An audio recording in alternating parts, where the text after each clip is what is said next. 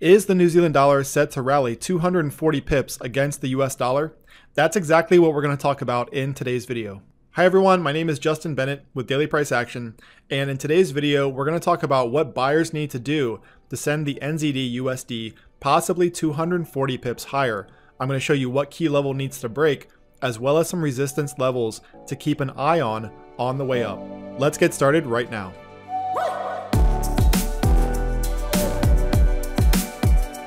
Quick disclaimer that today's video is for educational purposes only. All views are my opinion and are not intended as investment advice. Forex is a high reward, high risk business, and you should not trade with borrowed money or money you cannot afford to lose. See the description of this video for the full disclaimer.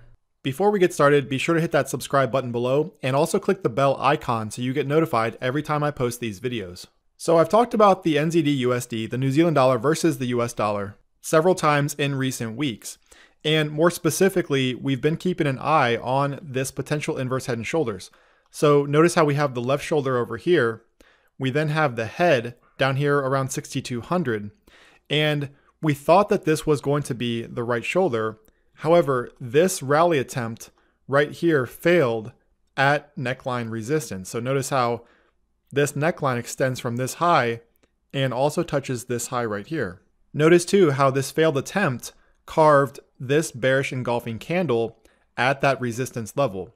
So that triggered this this push lower into 6320, which also served as resistance back through this area. Now, over the weekend, I mentioned how just because we have what looks like a second right shoulder, so here was the first one, and this low makes the second one. However, I would include both of these as the right shoulder right now. So on Saturday, I mentioned how just because we've had this rotation lower, that this right here does not negate this inverse head and shoulders pattern. I also pointed out how this pattern is a possible or potential pattern.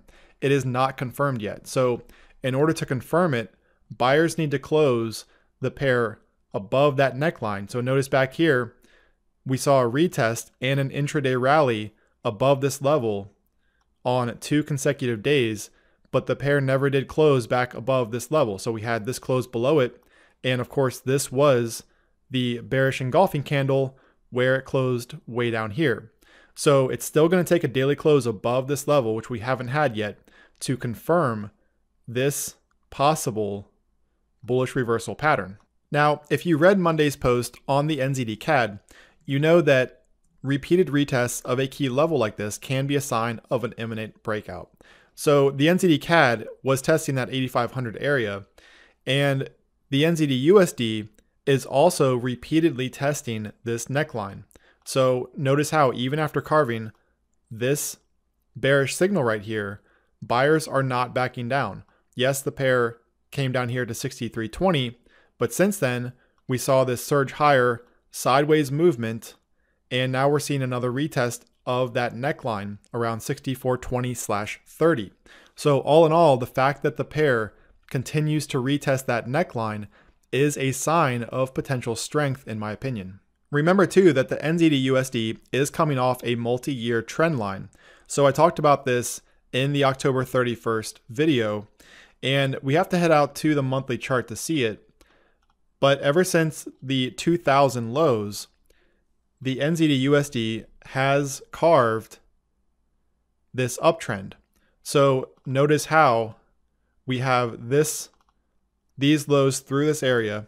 So 2000 to 2001 and we also had this retest here in 2009 and notice what's happened recently. So this was the Octo October low right here that did retest this multi-year trend line.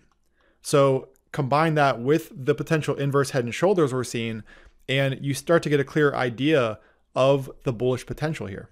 So whether or not we see the pair rally like we saw back here is yet to be seen. Of course, this was an incredibly aggressive rally back in 2009 and into 2010, but just the fact that we are testing this multi-year support level, a 20-year level in fact, is worth keeping an eye on. But as far as the more immediate path forward, I do think it's going to come down to what happens here on the daily time frame. So just to wrap up, it is going to take a daily close above this level. And keep in mind that I use New York close charts so that every 24 hour session opens and closes at 5 p.m. Eastern. So that gives me five equal 24 hour periods every single week compared to some of the other brokers out there that offer six day candles every single week. So you need a New York close chart in order to trade price action correctly. So see the comments section of this video for a link to the charts that I use. So if we do see that New York close at 5 p.m. Eastern above this 6420 slash 30 level, that would expose 6490, which served as support back through this area, with a close above that taking on the 6580 slash 90 region. Notice how we have this low back here, as well as this low and this high.